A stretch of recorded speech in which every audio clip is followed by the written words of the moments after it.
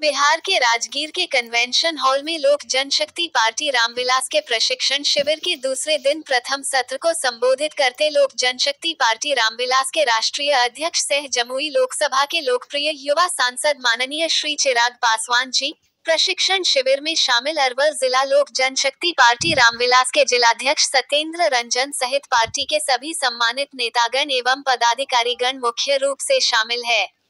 तो आइए देखिए इस कार्यक्रम का सीधा प्रसारण republic India live news channel team के साथ और वीडियो को लाइक करें चैनल को सब्सक्राइब करें और बेल आइकन को दबाना ना भूलें।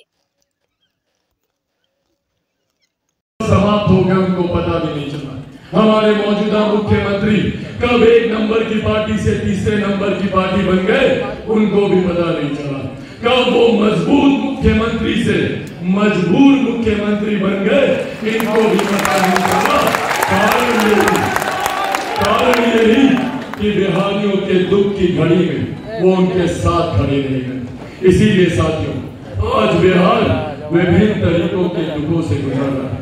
बिहारी विभिन्न तरीकों की समस्या से जूझ रहे हैं। और ये बिहार फ़र्स्ट, बिहारी फ़र्स्ट, जो हम लोगों ने विजन डॉक्यूमेंट तैयार किया है।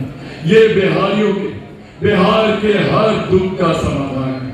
ये ये प्रतिलिपि हर पार्टी के पदाधिकारियों में आज इसको बांटा जाएगा। मैं चाहता हूँ कि आप सब इसको अपने साथ लेकर जाएँ और इसका एक एक पन्ना आप लोग पलट कर देखें।